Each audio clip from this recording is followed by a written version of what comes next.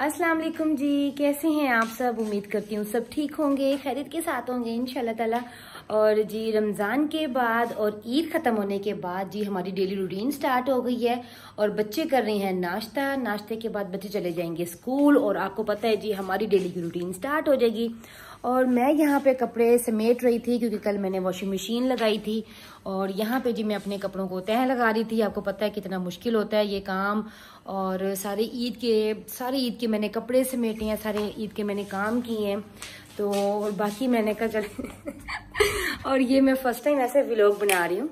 और बाकी मेरे ये कुछ ये समेटने वाले कपड़े पड़े हैं, इनको मैं समेटूँगी। ये देखिए जी, ये मैंने सारे कपड़ों की तहन लगा ली है और अब मैं इसको लेकर जाती हूँ।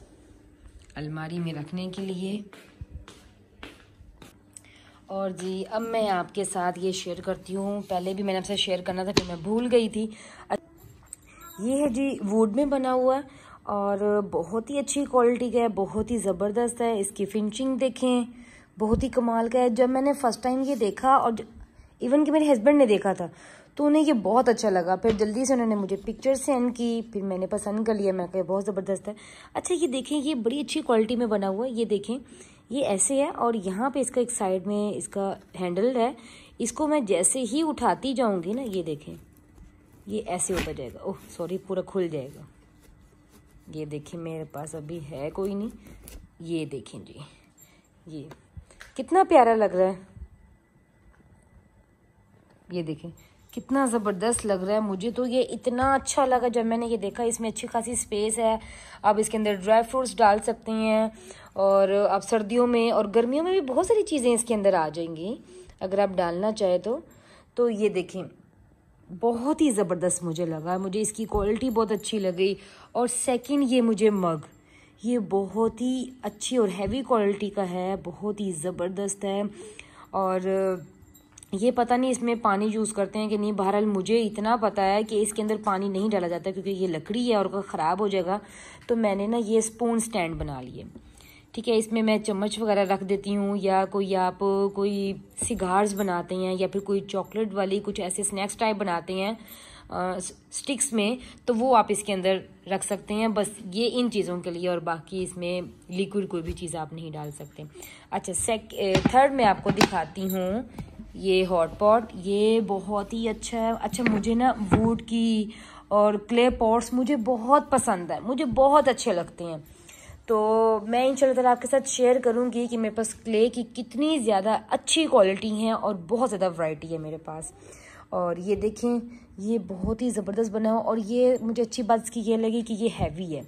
अच्छा जब मैंने, जब हस्बैंड के घर लेकर आए ना तो मुझे, मैंने कहा कि इसके अंदर स्टील का बाउल होता है। तो जो मैंने देखा है स्टील का बाउल होता है तो फिर मेरे हस्बैंड कहते तो फिर उनको फ़ोन किया, जिनसे ये लिया था। तो वो कह रहे थे कि नहीं, जब आप इसके अंदर रुमाल डालेंगे, रुमाल रखेंगे, उसके अंदर जब आप रोटी रखेंगे ना तो इसमें पानी नहीं होगा। तो पता नहीं, अब ये मुझे करना पड़ेगा। वैसे मैंने उस दिन नान रखे थे। ये था कि नान गीले भी नहीं हुए थे और ना ही ये गीला हुआ था। अब ये अल्लाह बेहतर जाने। बहरहाल मुझे तो ये बहुत अच्छा लगा है। और अगर कोई कहेगा कि इसके अंदर स्टील का बाउल होना चाहिए तो फिर मैं बनवा लूँगी इसका और मैं उसमें रख लूँगी। बहरहाल मुझे ये बहुत अच्छा लगा, बहुत ही अच्छी क्वालिटी का, बहुत ही ज़बरदस्त। मैंने कहा, चलें, आज जितने भी पेंडिंग काम है ना, वो मैं आपके साथ शेयर कर देती हूँ। क्योंकि फिर मुझे, फिर मैं भूल जाऊँगी, फिर मुझे याद नहीं रहेगा। तो बहुत ही ज़बरदस्त है ये। अच्छा इसको मैं अब कवर करके ना किसी भी अच्छे से शॉपिंग बैग से कवर करके मैं इसको रख दूँगी। और आज सुबह ही सुबह हमें एक प्यारा सा अच्छा सा गिफ्ट मिला और बहुत ही अच्छे हैं। वो गाँव से लेकर आए हैं हमारे लिए ये गुड़ और बहुत ही अच्छी क्वालिटी का गुड़ है ये। और इसको मैंने सीढ़ियों में इसलिए रखा है ताकि मैं इसको ऊपर लेकर जाऊँगी और फिर मैं इसको एक अच्छे से बॉक्स में डाल के इसको बंद कर दूँगी ताकि मैं चाय वगैरह में इसको यूज़ करूँ। और बाजी आने वाली हैं और ये मौसम आज भी बहुत अच्छा है, धूप नहीं है और आठ बज गई हैं। और जैसे बाजी आती हैं, मैं उनके साथ काम करवाने के बाद मैं सारा समेट के फिर मैं जाऊँगी खाने पकाने की तरफ़। अब ये देखिए, ये बाजी के आने का टाइम है, ग्यारह बज गए हैं और धूप देखें कितनी ज़्यादा धूप आ गई। बाजी को अब टाइम मिला आने का। है ना बाजी इतनी लेट क्यों आई हैं आप? हाँ जी और क्या? हम्म, बस मेरे काम करने लेट आती हैं। हाँ। हम्म, और यहाँ पे जी मैंने कर ली है सबसे पहले आके रोटी। रोटी मैंने यहाँ पे रेडी कर ली है और इसके बाद मैं बनाती हूँ और अब मैं यहाँ पे बनाने जा रही हूँ आलू के शामी, आलू के कटलस। तो जब आपको पता है, जब कोई चीज़ समझ में ना आ रही हो तो फिर क्या होता है? आलू के शामी बनाते हैं। ठीक है, यहाँ पे मैंने ले लिए हैं तीन बड़े बड़े आलू आलू ले लिए थे। उसको मैंने छील लिया, छील के मैंने उसको बॉईल कर लिया। ये थोड़ी सी प्याज है मोटी मोटी हरी मिर्ची हैं और थोड़ा सा धनिया और थोड़ा सा मैं इसके अंदर पुदीना डालती हूँ। ये ग्रीन जो होती है, धनिया, पुदीना। ये मैं ज़्यादा से ज़्यादा बच्चों को यूज़ करवाती हूँ। और इसमें आपको पता है स्पाइसेस इतने खास नहीं होते हैं जस्ट क्या होता है थोड़ा सा सॉल्ट होता है। और थोड़ा सा इसके अंदर चाट मसाला होता है।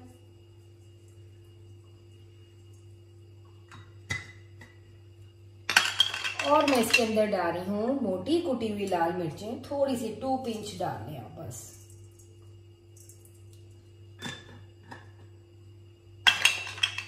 और मैं इसके अंदर थोड़ी सी लाल मिर्च डाल लूँगी और इसको अच्छे से मैं मैश कर लूँगी। और मैं इसके अंदर थोड़ा सा ज़ीरा ऐड कर दूँगी। ज़ीरा ऐड करने के बाद थोड़ा सा मैं इसके अंदर चिकन पाउडर भी ऐड कर देती हूँ, क्योंकि मेरे पास चिकन नहीं था, वरना वो मैं बॉयल करके और श्रेड करके इसके अंदर डालती। और मैं इसकी बना लूँगी मोटी मोटी सी शामिया कटलस बना लूँगी। ये देखिए जी कितने ज़बरदस्त से मेरे शामी कटलस पोटैटो कटलस, कितने ज़बरदस्त से रेडी हो गए हैं। और इसको मैं थोड़ी देर के लिए रेस्ट दे रही हूँ, ताकि मेरा दिल है कि साथ ना मैं बूंदी का रायता भी बना लूँ। तो उसके लिए मुझे चाहिए है थोड़ा सा बेसन क्योंकि मैं फ्रेश बनाती हूँ। गर्मियों में मेरी ज़्यादातर कोशिश होती है कि मैं फ्रेश बूंदी बनाऊँ। ये देखिए इतना सा, थोड़ा सा बस मैं ले लूँगी बेसन। और मैं इसमें पिंच ऑफ़ सॉल्ट का तो नहीं बेकिंग पाउडर सॉरी मीठा सोडा डालूँगी। थोड़ा सा मैंने इसके अंदर डाल दिया है नमक और थोड़ा सा मैं इसके अंदर ज़ीरा डाल देती हूँ। अगर आपने डालनी है तो थोड़ी सी मिर्च डाल दें, वैसे इसकी ज़रूरत नहीं होती क्योंकि ये फीकी ही बनती है। ठीक है जी, अब मैं इसको अच्छे से घोल लूँ। ये देखें, ये मैंने बना लिया उसका घोल और मैं इसके अंदर बस इतना सा मीठा सोडा डालूँगी। अगर ज़्यादा डालेंगे ना तो वो बिल्कुल ख़राब हो जाएँगे। और जब आप उसको फ्राई करेंगे फ्राई तो सही हो जाएँगे बट जब आप उसको पानी में डिप करेंगे ना तो वो सारे बिखर जाएँगे। इट मीन्स कि आपने मीठा सोडा उसके अंदर ज़्यादा डालना है। बस आपको थोड़ा सा डालना होता है। हाफ़ कप में वन पिंच डाल लें और वन कप के अंदर आप थोड़ी बड़ी पिंच डाल लें बस ये होता है। ठीक है, ये बन गया हमारा बैटर क्योंकि मैंने ये हाथ की मदद से डालनी है। ये देखें, ये एक और इसकी टिप है अच्छी बनाने के लिए। जब भी आप बेसन या मैदे का कोई भी घोल बनाते हैं तो आपने उसको अच्छे से बीट करना है, ठीक है? अच्छे से बीट करेंगे तो ये बहुत ही ज़बरदस्त इसकी बूंदी बनती है, बहुत अच्छा बनता है। और ये देखें, अब मैं इसकी ऐसी कंसिस्टेंट ये देखें ये देखें, ऐसे मैंने बनाना है ये। थोड़ी छोटी बूंदी भी आप बना सकते हैं और आप इसको पाइपिंग बैग में भी डाल सकते हैं। मैं इसका फ्लेम थोड़ा सा कम कर देती हूँ।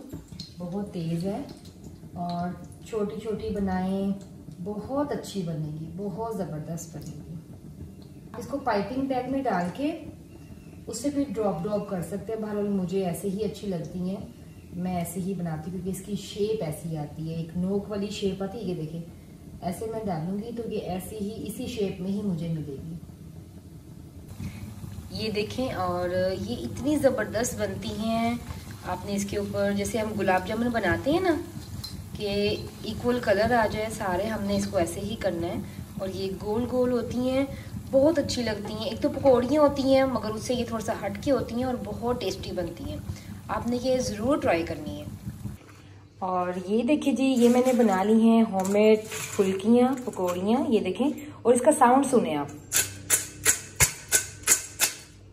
इतनी ज़बरदस्त हैं। अब मैं थोड़ी देर इसको सोक कर दूँगी पानी में और इसके साथ ही मैं बना लूँगी आलू के कटलस। इसको मैं बेसन में डिप करके फ्राई कर लूँगी और साथ ही जी मैं रख देती हूँ यहाँ पे सोख होने के लिए ये। वैसे तो आप इसको ठंडा कर लें और हम सारी ही बना देती ये देखिए जी ये मैंने इसको डिप कर दिया इसके अंदर और ये देखिए इसको मैं रख दूँगी अब साइड पे ताकि मैं ये बना लूँ।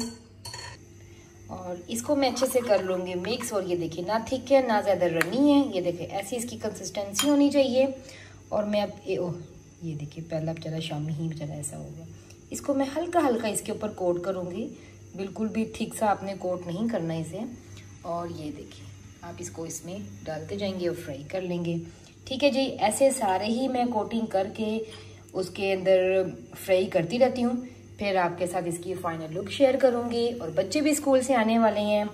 और उससे पहले पहले मैं सारे काम कर लूँ और फिर अभी मैंने नमाज़ भी पढ़नी है। नमाज़ मेरी आज थोड़ी सी रह गई है। चने जी, ये देखिए यहाँ पे हो रहे हैं हमारे कटलस फ्राई और साथ ही ना मैं कह रही हूँ कि मैं बना देती हूँ जल्दी से रायता। ये देखिए, अभी मैं इसको सेट करती हूँ कैमरे को। यहाँ पर मैं बनाने लगी हूँ रायता। बूंदी का जो रायता बनाना है वो, और मुझे इसके लिए चाहिए एक बाउल, और एक बाउल के साथ मुझे चाहिए दही। और ये अब दही देखिए। कितनी ज़बरदस्त है, बहुत ही कमाल की दही है। और ये देखिए, मैं अब यहाँ पे रायता बनाती हूँ और आपके साथ शेयर करती हूँ कि होममेड दही यूज़ करने के तो बहुत ज़्यादा फ़ायदे भी बहुत हैं और अच्छी बनती है, बहुत ही कमाल की बनती है। तो लाजमी आप घर की बनी हुई दही इस्तेमाल किया करें। ये देखिए।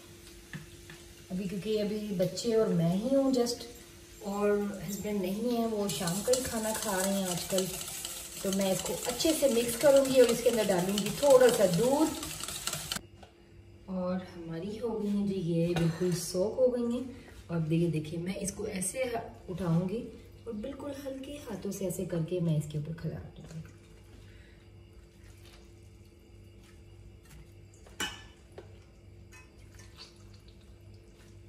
देखिए, अगर इसमें मीठा सोडा होता ना, ज़्यादा मीठा सोडा डल जाता तो फिर ये निचोड़ी ना जाती, ठीक है? ठीक है, ये हो गया, ठीक है? अब मैं इसके ऊपर ये जितना भी हमारा दही है, और ये देखिए, दही और दूध मैंने मिक्स किया दही में कभी भी आपने पानी नहीं डालना, वरना बिल्कुल ख़राब कर लेते हो आप लोग, ठीक है? ये देखिए, ये दही डाल दिया मैंने इसके अंदर। इतनी ज़बरदस्त बनती है ना ये। आपने एक बार ज़रूर मेरे कहने पे बनानी है, ठीक है? ये देखिए। अब मैं इसके ऊपर डाल दूँगी प्याज। जितना आपको चाहिए। ये देखिए, मैं इसके ऊपर ज़्यादा अच्छा लगता है सर्व करना। और मैं इसके अंदर पुदीने की चटनी नहीं डालती, ठीक है? और मैं थोड़ा सा इसके ऊपर प्याज, वो सॉरी, टमाटर डाल दूँगी। थोड़ा सा इसका लुक इन्हेंस करने के लिए पता चले भी क्या चीज़ है। और थोड़ा सा आपको पता, जब तक ग्रीन पार्ट इसके अंदर ना आए तो मज़ा ही नहीं आता दही बड़ों का। और इसके ऊपर मैं धनिया नहीं डाली जस्ट मैं इसके ऊपर पुदीना डालती हूँ। और पुदीने के अंदर बहुत अच्छी लगती है। ठीक है जी, ये हो गया। साथ ही मेरे शामी भी फ्राई हो गए हैं, आलू के कटलर। तो मेरे दही बल्ले बन गए हैं। अल्हम्दुलिल्लाह जी। ये देखिए जी, ये फाइनल लुक है। दही फुल्की की और ये है कटलस रेडी हो गए। बहुत ज़बरदस्त है और अब हम इसको लेके चलती हैं नीचे। जी ये आ गई है जी अब अबीहा और अबीहा बैग अपना रख के अब जाएँगे अपने कपड़े चेंज करने। इशाल क्या कर रही हैं आप? अच्छा पढ़ने। और फाइनली जी बच्चे आ गए हैं। और साथ ही जी मैं खाना बच्चों को डाल के दे रही हूँ। और यहाँ तक का था जी आज का मेरा व्लॉग उम्मीद करती हूँ आपको पसंद आया होगा।